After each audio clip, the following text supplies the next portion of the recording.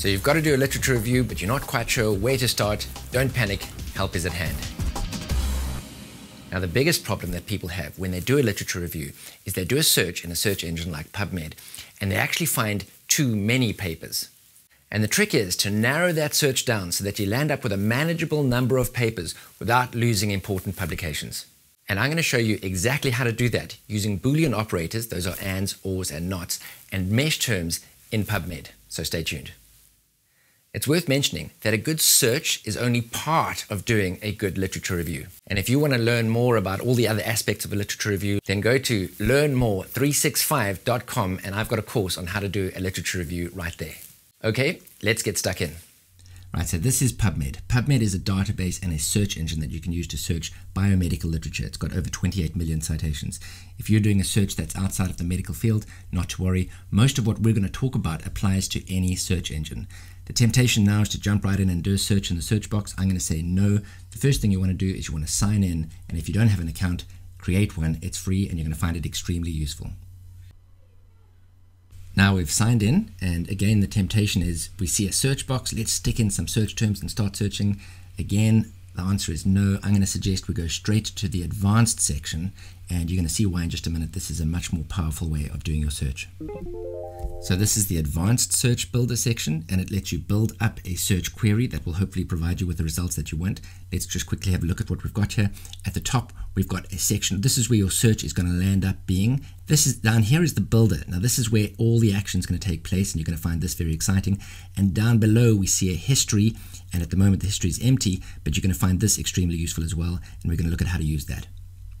Now remember, we're coming to the search engine having already done some thinking, right? So we've identified a purpose for our literature review. And for example, if we were doing a literature review on the impact of poverty on HIV treatment outcomes, we've got three conceptual buckets, right? We've got poverty, and there's search terms and keywords around poverty that we're interested in. Then there's HIV, same thing applies. And then, of course, there's treatment outcomes. So if we take our first conceptual bucket, we want to build up a search term that finds all of the papers that have anything to do with the idea of poverty. So we type in poverty, and let's say, for example, there's another word, let's say deprivation, that might be of interest. Now there'll be many, many more, but we're just going to use two for the sake of this example. Now remember we said we want to use or and not and because we want to include all the papers that meet either of these criteria, not the papers that intersect with both of them. Now, instead of pushing search, if we pushed search here, it would do that search and tell us about all of and show us the papers that it found. We're not interested in seeing those papers at this point. We're simply interested in knowing how many papers it identified. So instead, we click on just add to history. Right, so now in our history, we've got the search number, in this case number 18, that just means that I've done 18 searches today. Don't worry about that. We've got the search that we did poverty or deprivation, so it will include any paper that fills either of those criteria, and it has found 12,000, or sorry, 125,955 items. If we clicked on that, it would actually show us those items. We're not going to want to look at that number of papers, so there's no point in doing that at this point.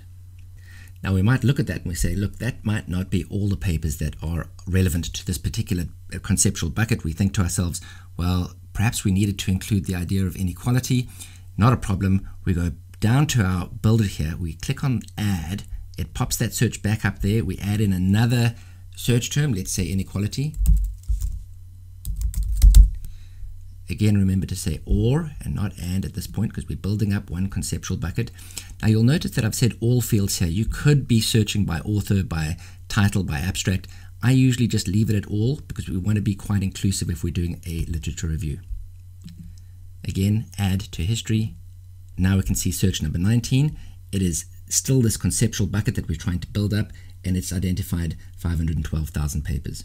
And we would continue doing this. We would continue adding search terms and ideas, separating them by an or until we believe that we've identified within that bucket all the papers that might be relevant.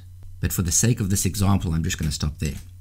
Now we move on to our next conceptual bucket, HIV. We want to identify all the papers in PubMed that may have anything to do with HIV. So we type in HIV and we include other search terms that we think might be important, let's say, for example, AIDS, uh, we would continue adding search terms and keywords. We might include human immunodeficiency virus, etc., etc. In this case, we'll just stop with two for the sake of simplicity. Remember to separate them by all. In this case, I'm going to use or fields to be, to be inclusive, and we hit add to history. And so search number 20 on HIV identified 432,000 papers. And then, of course, we would do the exact same thing for treatment outcomes. We would develop a search term that identified all the papers that we thought were relevant to treatment outcomes. For the sake of simplicity, I'm not going to do that now, but you understand exactly what I'm getting at. So we've identified papers that have got something to do with poverty, and we've identified papers that have got something to do with HIV. How do we identify the papers that are, exist in both of these searches? And the, and the way we do that is we click on Add and Add, and you'll see these, these searches pop up into our builder here. In this case, we do want them separated by AND because we want to find papers that fulfill this search query and fulfill this search query. Hit Add to History and that has found 18,121 papers. All of these papers will be found in the results of both of these search queries. Now, if we click on this 18,000 papers, it does the search, it pulls out the actual papers from PubMed, and we can see them here. PubMed gives you the option of filtering this, so we could say we just want to look at review papers, and you can filter by whether or not the full text of the paper is free and available. And now, of course, you can click on any one of these papers and have a look at it. Now let's talk about mesh terms. Before we carry on, I just wanted to say a big thank you to Biomed Central, or BMC, for sponsoring this video. Biomed Central is a publishing company that publishes open access journals. And that means that the full text of any paper that they publish is available for free to anybody in the world. I have really been extremely impressed with Biomed Central as a company. They have integrity and they are truly making the world a better place. So check them out at biomedcentral.com. I'll put a link in the description below. Now let's talk about mesh terms. Mesh terms are fantastic, and the reason is while we're doing everything electronically here, when it comes to mesh terms, there have actually been people, indexes, human beings at the National Library of Medicine who have gone through the papers on Medline and identified what those papers are about and indexed them and they've indexed them using these mesh terms. So if you do a search by a mesh term, PubMed will give you a result of all the papers that have been identified by these indexes that have got anything to do with that term. But in order to do a search by a mesh term, we need to know what the mesh terms are. And so we can do a search in PubMed of the mesh term database. So we go up here, click on mesh, and type in a term. Treatment, for example.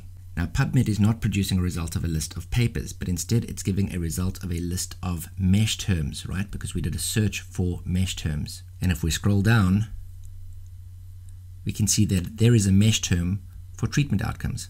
So here we have a description of the mesh term. We've also got subheadings, so you might want to search within a particular subheading of that mesh term.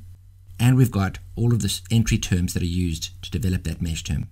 Mesh terms exist within a hierarchy, so it's like a tree and you might decide that you want to go more general or more specific, but usually just keeping to the mesh term that you found is about right.